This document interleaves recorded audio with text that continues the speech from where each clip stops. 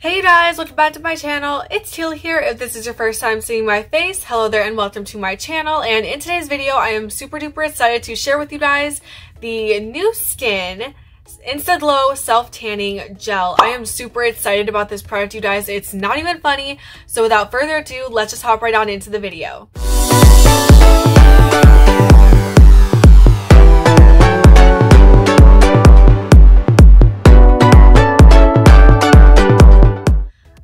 Things about this product before we go in and I show you guys what I did for days one and two. I really liked how this process was super duper simple and there's a couple of things that I feel like everyone should know about the product before they go and use it. Number one, you don't want to use any moisturizer or anything on your body to make it oily because then this might leave streaks and different marks on your body that you really don't want. Number two, if you are not a big person on like fragrance smells, you may or may not like this product for like the first couple of hours that it's on your body because there is a slight fragrance, but I mean, to me, it smells good. I love the smell of it. Some of you may not. Lastly, you want to make sure that you definitely exfoliate your body. You do not want any dry skin, flaking skin, or any patches really on your body because then when those patches go away, you're going to have these weird striations and marks on your body. So you want to make sure that you exfoliate. So for me personally, for day one, I showered and exfoliated with my exfoliating gloves from EcoTools. And for day two, I decided to use my dry body brushes from EcoTools. And I did that right away in the morning and then I did my applications. So without further ado, let's go on and show you guys how I applied the product.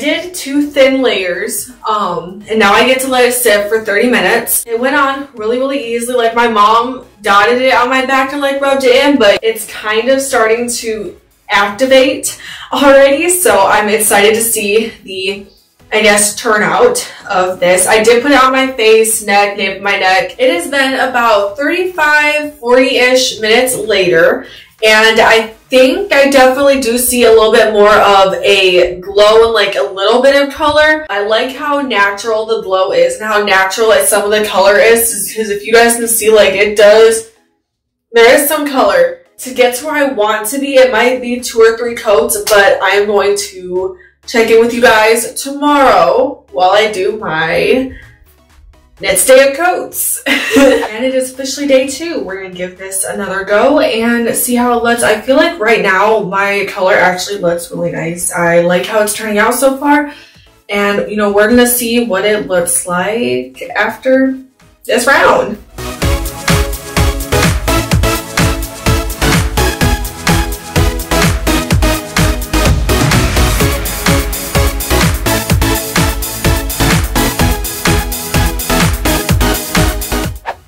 I think there are two things to note throughout this video.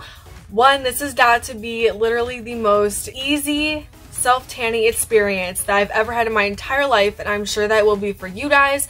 And number two, I'm pretty sure this is a hidden treasure summer staple that a lot of ladies need to hear about and I'm hoping that a lot of people try this product just because I feel like it's awesome. It's great. I love how natural the glow is and then I have color to my skin and I've only used it twice.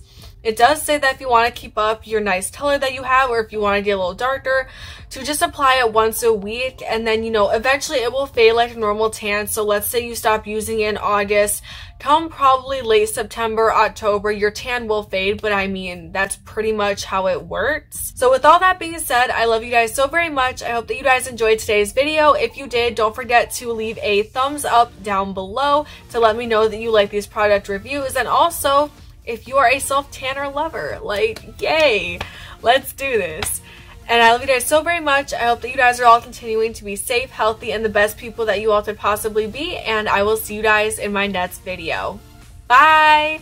Love you guys!